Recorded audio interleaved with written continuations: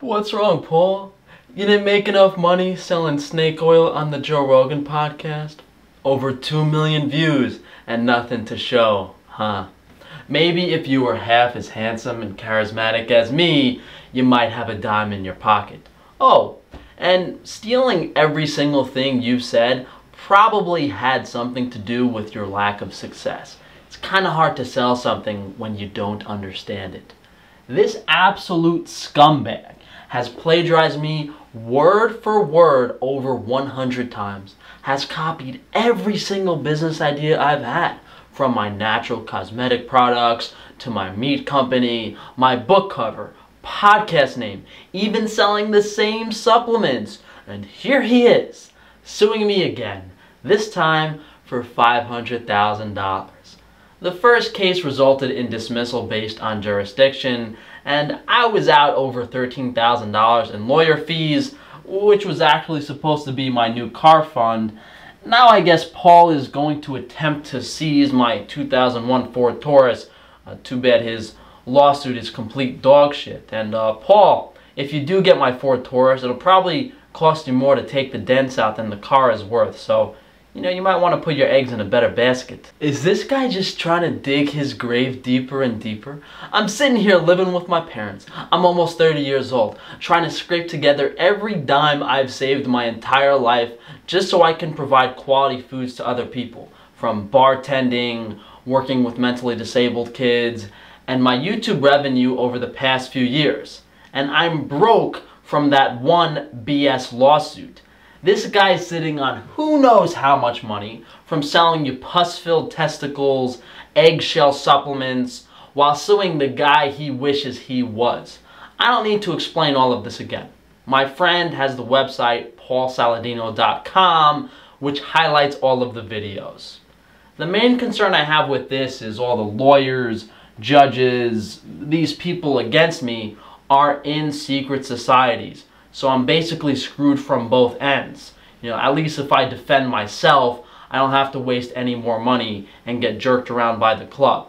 So let's go through this lawsuit, which has many similar points to the last one. United States District Court for the Southern District of New York. Paul Saladino, MD, versus Frank Tufano. Summons in a civil action. David D. Lin, Lewis and Lin, LLC. And, and you know, I thought Paul was pretty ugly on the outside and inside, but if you look at the lawyers from this firm, they look like some sort of ghouls that climbed out of a cave. Jury trial demanded. Plaintiff Paul Saladino, MD, Dr. Saladino. What a jerk off, man. No one cares, buddy. What, you shove psychiatry medications down people's throats and you mislead people to keep racking up that sweet insurance money? What are you bragging about? Through his undersigned attorneys, as and for his complaint against defendant Frank Tufano alleges as follows. Statement of case. 1. This is an action for money damages and corrective and injunctive relief due to defendant Tufano's wrongful and malicious campaign over the last year to attack Dr. Saladino and Dr. Saladino's business and services as a licensed physician and a certified functional medicine practitioner in order to promote his own competing health consultancy business. Paul, you think you're competing with me? we might as well be on two different planets, buddy. Two, defendant Tufano has created and published over half a dozen defamatory videos that contain numerous false statements of fact as well as misrepresentations about Dr. Saladino and his services. Furthermore, upon information and belief, defendant Tufano created and registered the domain name paulsaladino.com on October 23, 2020, and immediately began posting it to a defamatory website containing, inter alia, sexually graphic and homophobic images of Dr. Saladino, as well as links to the defamatory videos created and published by defendant Tufano on his YouTube channel, which defendant Tufano uses to promote his competing business interests. You know, Paul, that's an interesting way uh, to word free speech on YouTube as well as uh, a website that who knows if I made it, who knows if my buddy made it. I mean, I guess that's what lawsuits are about. Pretending you know what the other person's doing.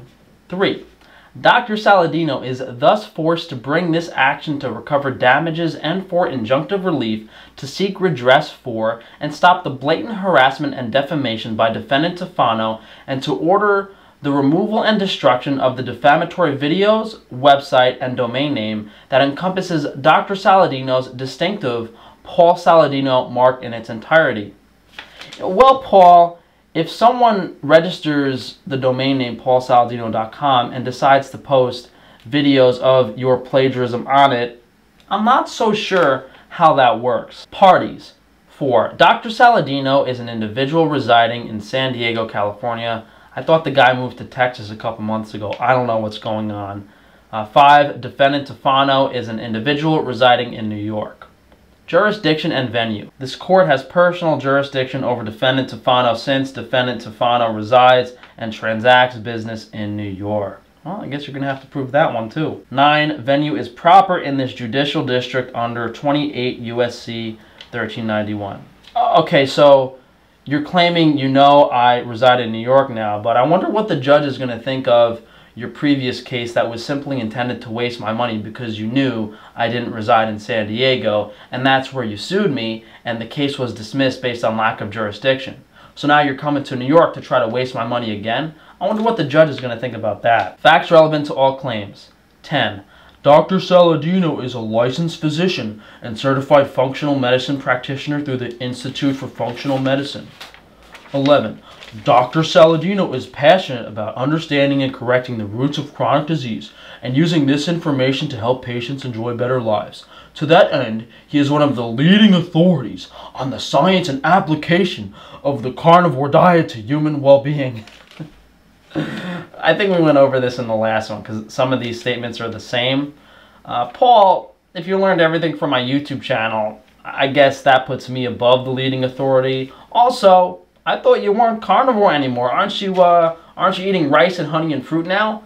Following in someone's footsteps, perhaps? Dr. Saladino offers fee-based private consultation services to consumers regarding use of a carnivore diet to treat medical conditions. He has used this diet to reverse autoimmunity, chronic inflammation, and mental health issues in hundreds of patients. Hmm, hundreds of patients. Yeah, yeah. Be a real shame if someone asked for an order of discovery and uh, said, hey, you're plagiarizing me, unfair business practice, I think I should be the, the one getting the 500 grand, Paul. We'll see what the judge thinks. Dr. Saladino is the best-selling author of The Carnivore Code, Unlocking the Secrets to Optimal Health by Returning to Our Ancestral Diet, published by Houghton Mifflin Harcourt. The book is currently a top 10 bestseller on Amazon in the category of men's health books. well, I wonder what the judge is going to think when like half of the information in your book was copied from my book, which was published, you know, six months prior. I also wonder what the judge is going to think when you actually redid your book to change the cover as well as content to reflect my personal views more. Not too bright, Paul. Dr. Saladino maintains a social media presence on the internet, including on YouTube, Twitter, and through numerous collaborative podcasts, including The Minimalist, Bulletproof Radio, the Dr. Gundry podcast, the Ben Greenfield podcast, Dr. Mercola, Health Theory, Mark Bell's Power Project, the Joe Rogan Experience, and many others. Paul, why didn't you put in here that you colluded with the minimalist against me in the prior lawsuit? I, I mean, I, I guess I wouldn't want the judge to know that either. That you're willing to lie and cheat in a lawsuit through collusion. Dr. Saladino is the owner of all common law rights to the Paul Saladino trademark, the Paul Saladino mark, and has used his first and last name in commerce and on the internet and social media since as early as June 2017. Dr. Saladino created and registered paulsaladinomd.com in October 2017 and shortly thereafter pointed the domain to a website that promotes his business and services. Dr. Saladino operates a San Diego-based business under the Paul Saladino mark, which involves his specialty and promotes the use of a carnivore diet to treat health issues and lead better lives. The business caters to four varieties of customers. 1. YouTube viewers which generate advertising revenue through the YouTube platform. 2. Third-party social media podcasters who desire Dr. Saladino's audio, video, and real-time interactive content. 3. Purchasers of Dr. Saladino's merchandise, including a line of nutritional supplements. And four, patients who desire private consultations for the treatment of health issues. Is this guy lying about being in San Diego? Isn't he in Texas now? Dr. Saladino has used the Paul Saladino mark continuously and extensively in connection with the marketing of the business. As a result, Dr. Saladino has established a reputation and goodwill in his personal name separately as a trademark. The Paul Saladino mark is unique distinctive and has acquired distinctiveness through its association with Dr. Saladino's business as advertised and sold throughout the United States. Well, Paul, maybe you should have gone through the U.S. Patent and Trademark Administration to register your trademark. Perhaps you should have actually bought the website paulsaladino.com. Hmm? How about that one? For example, as a result of Dr. Saladino's efforts and his association with the Paul Saladino mark, his YouTube channel has over 67,000 subscribers. His Twitter account has over 40,000 followers. And his book, The Carnivore Code, has recently released a second edition. Oh, did you mention the reason you needed to do a second edition was to change your stance on plant foods to reflect Frank Tufano's stance on plant foods? You should really mention your plagiarism. Defendant Tufano also maintains a presence on social media and publishes videos and written statements, including on YouTube and Twitter, to promote his own fee-based medical nutritional therapy services regarding use of a carnivore diet to treat medical conditions. Upon information and belief, Defendant Tufano is not licensed to provide medical nutritional therapy. Paul, did you receive education on a carnivore diet in medical school, aren't you a psychiatrist? Not licensed to provide medical nutritional therapy? You aren't either, buddy. Dr. Saladino and Defendant Tufano are competitors. They compete for consumers and viewers in the same industry.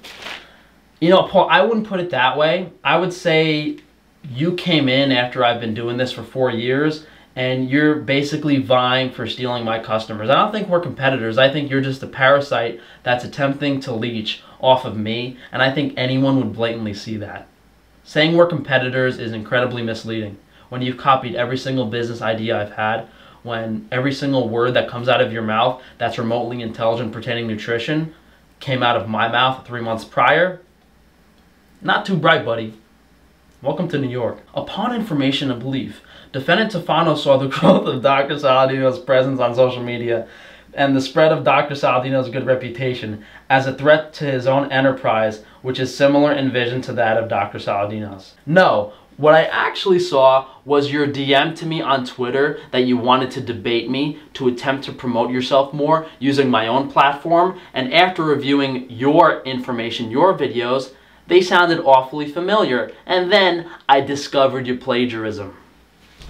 You're gonna try to blatantly lie in a court case like this? Man, maybe I'll get a fat check and buy my Mercedes. Defendant Tufano has undertaken a malicious campaign to spread false information and attack Dr. Saladino's good character and reputation for the purpose of hurting Dr. Saladino's business and to benefit his own competing business. You, you know, Paul, if someone tells the truth about something, it's free speech, and if telling the truth hurts your business, hey, tough luck. The coordinated and persistent advertising campaign includes half a dozen videos directly attacking Dr. Saladino and making numerous false representations of a fact.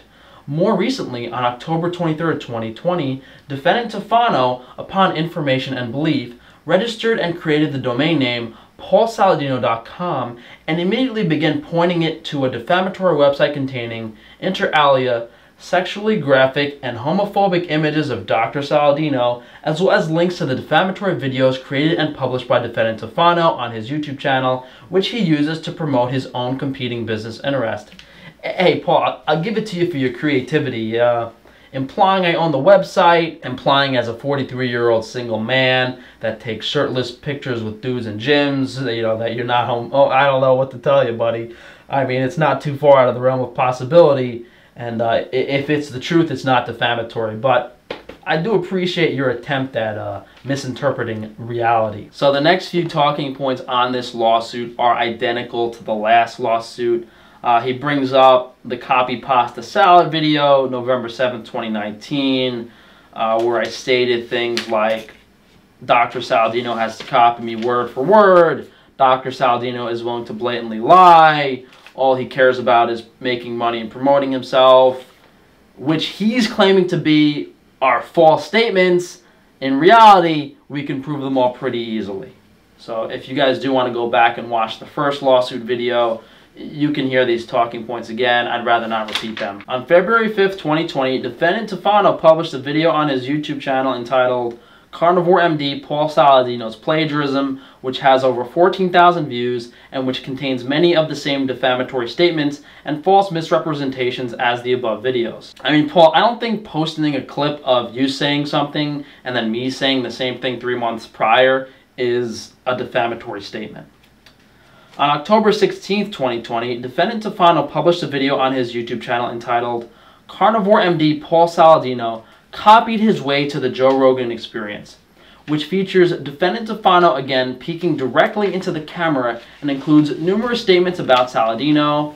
The video has over 15,000 views. The October 16th video contains multiple general and specific misrepresentations of fact about Dr. Saladino and his services, including that Dr. Saladino plagiarized defendant Tufano, that Dr. Saladino plagiarized throughout medical school, that Dr. Saladino used defendant Tufano's information on the Ben Greenfield podcast, and that Dr. Saladino has hundreds of social media workers monitoring comments. Defendant Tufano's campaign attacking Dr. Saladino has included at least three more such defamatory videos. I mean, basically, he's claiming that there's misrepresentations of facts, false defamatory statements, but he's not listing any statements here. He's just saying it. He doesn't have proof because everything I said was likely true. It was likely pointing out plagiarism. I mean, the main focus here and the reason he's suing me is probably because of the paulsaladino.com website. Uh, he's repeating some of those points again, saying, I've taken my malicious campaign against Dr. Saladino to a whole new level. uh, repeating some stuff again. So his first claim for relief is basically that all of my statements are false and unlawful and that he's being damaged. Second claim for relief has to do with him owning the Paul Saladino trademark and me having no rights to the website if I own it. And his third claim for relief is that I'm profiting off of Dr. Saladino's name. This guy's a fucking comedian. As a direct and proximate result of defendant Tufano's unlawful, deliberate, and malicious conduct as set forth above, Dr. Saladino has been and will continue to be damaged both irreparably and monetarily. More claims for defamation. An award of compensatory damages according to proof at trial, but in an amount no less than $500,000, as well as punitive and exemplary damages were authorized including from the Lanham Act and common law due to defendant's willful and wanton behavior. you guys should call these clowns up. Lewis and Lin LLC. David D. Lin, 718-243-9323, attorneys for plaintiff Dr. Saladino. Yeah, let them know what, uh, what you think of them having Dr. Saladino as their client and representing him. There's a lot that could be said about this absolute degenerate, but one thing's for certain is that he has dollar signs in his eyes, his intentions are in the wrong places, does he want a $14 million mansion like Joe Rogan? Does he want to have a bunch of free time so he can play with his Masonic buddies in the sauna? I don't know. Whatever it is, it's very clear what he's doing isn't working, so he's got to sue me. Hey, you guys can go over to Paul Saladino's channel, you know, thank him for delaying you obtaining high quality animal foods from Frank Tufano, you know. Uh, the fresh beef slaughtered every week, the local raw dairy, corn and soy free eggs, high quality, nutritious animal and plant foods.